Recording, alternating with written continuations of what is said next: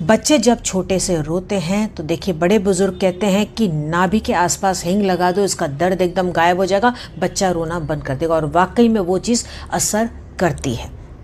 देखिए, जो हमारा शरीर होता है ना तो उसका जो सेंटर होता है, वो होता है नाभि, जिसको कहते हैं कि बेली बटन अगर इसमें आप पर्टिकुलर ऑयल्स का इस्तेमाल करेंगे पर्टिकुलर कोई प्रॉब्लम के लिए तो आपकी प्रॉब्लम सॉल्व होने लग जाएगी। बहुत ही आसान सा इसमें तरीका होता है। आपको करना क्या है? रात को सोने से पहले दो या तीन बूंद पर्टिकुलर कोई ऑयल की आपको नाभि में डाल देना है।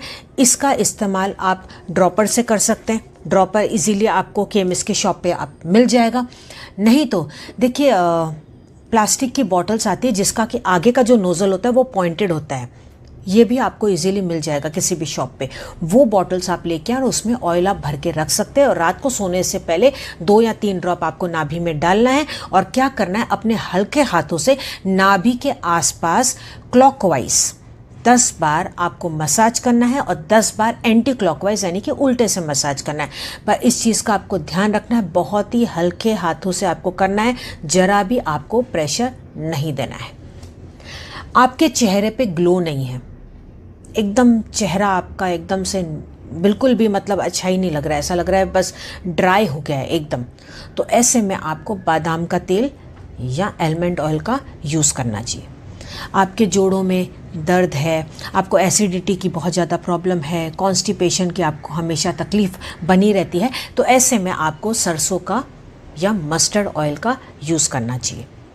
आपको डैंड्रफ है, बालों में बहुत ज़्यादा पीरियड्स में बहुत ज़्यादा पेन होता है बच्चे होने में प्रॉब्लम हो रही है। यानी कि डॉक्टर इलाज सब करा दिया, उसके बावजूद भी फर्टिलिटी में प्रॉब्लम आ रही है तो ऐसे में नारियल का तेल या ऑलिव ऑयल आप यूज़ कर सकते हैं। सपोज़ आपको बेली में बहुत ज़्यादा फैटनेस है, पेट आपका एक्सेस मोटा है, आप वेट थोड़ा सा रिड्यूस करना चाहते, बाल आप अपने लंबे करना चाहते हैं आई लैशेस आप अपनी घनी बनाना चाहते हैं तो ऐसे में कैस्ट्रॉल यानी कि अरंडी के तेल का इस्तेमाल आपको करना चाहिए। चेहरे पे बहुत ज़्यादा पिंपल्स हैं, घमोरियाँ हैं तो ऐसे में नीम का तेल आपको यूज़ करना चाहिए। आप चाहते हैं कि आपकी स्किन बहुत ही सॉफ्ट हो, बच्चों की तरह एकदम ग्लो करे और एकदम मुलायम मुलायम हो इम्यूनिटी लेवल आपका बहुत ज़्यादा स्ट्रांग हो जाए तो ऐसे में आपको घी का इस्तेमाल करना चाहिए। गाय का देसी घी आपको यूज़ करना है, ऐसे केस में आपको हल्का सा उसको गुनगुना करना है और फिर अपनी नाभि में डालना है। तो इन तेलों का आप इस्तेमाल करें और देखिए किस तरह से आपके जीवन में फ़र्क आ जाएगा। So I wish you all the best God bless you